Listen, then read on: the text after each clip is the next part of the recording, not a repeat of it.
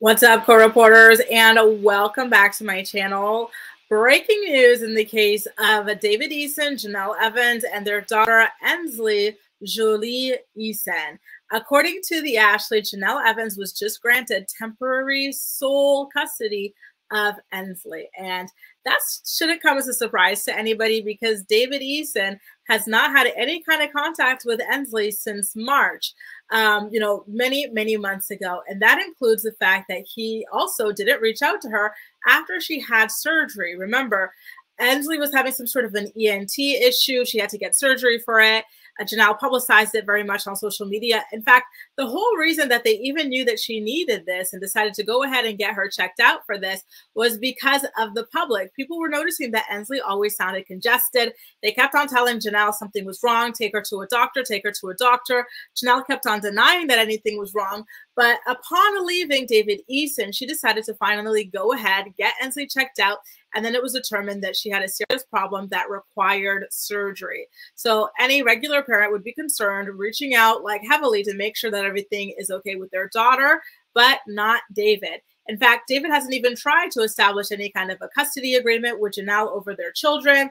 He actually skipped out on pretty much every um, hearing, and he was actually on TikTok live with his new girlfriend while the hearing was even going on. So yeah, that just to give you guys a little bit of an idea. So um, the judge said, and I quote, the best interest of Ensley would be served for sole physical and legal custody to be awarded to Ms. Eason today, with there to be supervised visitation held off unless and until a psychological evaluation for David has been completed. So per usual, David Eason is going to have to prove that he is psychologically sound enough to be around children. How strange and embarrassing is it that you constantly have to be subjected to this? Maybe, you know, you would start to wonder, hey, like, maybe I should kind of like tighten up the way that I'm behaving and stuff for this to constantly be a factor in my life. It is not normal.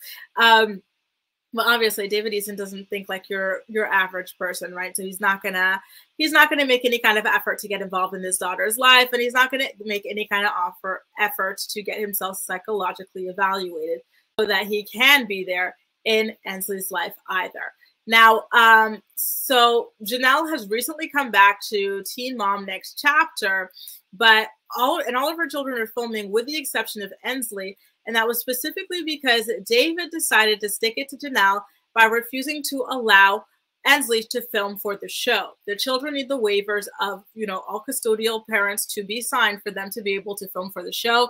And David was exercising his power or authority over Jenelle by refusing to do his part to allow his daughter to be filmed. And Jenelle brought that up in court, according to the Ashley sources. And they said, uh, and the judge basically said, like, hey, okay, well, listen, seeing as you now have temporary sole custody and whatnot, like, there you go, right? Like, Jenelle is going to be able to film with Ensley. And so when it comes to TMNC and the T, T Mom shows, they typically start filming early and continue filming as like things are happening throughout the year. So don't be surprised if you see this play out during the season and then you see Ensley suddenly appear on this season of the show as well. Now, although David has not made any kind of effort to visit Ensley or anything like that, the judge also said, quote, based on the evidence and testimony presented here, the defendant, David Eason, does not reside in a place that would be safe and suitable for the minor child. So Ensley wouldn't even be able to visit David on Jenelle's boat that he's squatting on, even if he was making any efforts to bring her there, because it is not a, a safe place for her to be. Mind you, I don't even think that David is still living on that boat. I think he's currently, he's been rehomed uh, with a new girl. I made a video about this girl. She recently went on social media to defend her decision to be with David Eason. Her name is Kenley, by the way. You can go ahead and check out that video.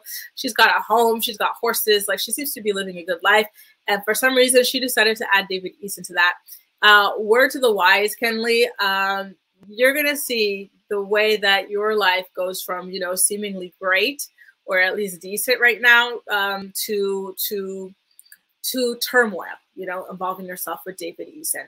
Um, anyway, you guys, that's just the update that I've got for now. For more full details, make sure to head over to the Ashley's Reality Roundup.com to read her full story on the situation. I just wanted to update you guys on the nitty gritty. Jenelle Evans was granted temporary sole custody of Ensley, and I don't really see that changing because, again, it does not look like David Eason wants that to change anyway. David Eason is not interested in working, sustaining himself. He doesn't seem interested in reaching out to see how his daughter's doing or anything like that. So it kind of looks like it's going to stay this way for the foreseeable future. How do you feel about it? And prayers out to Ensley Jolie. Imagine, you guys, a judge having to decide whether you're better off staying with David Eason or Jenelle Evans. Like, there, there really is no winning here, but I digress. Let me know what you think in the comment section down below. And as usual, chat. That's all for now. Thank you so much for watching, and I'll see you next time. Bye, guys.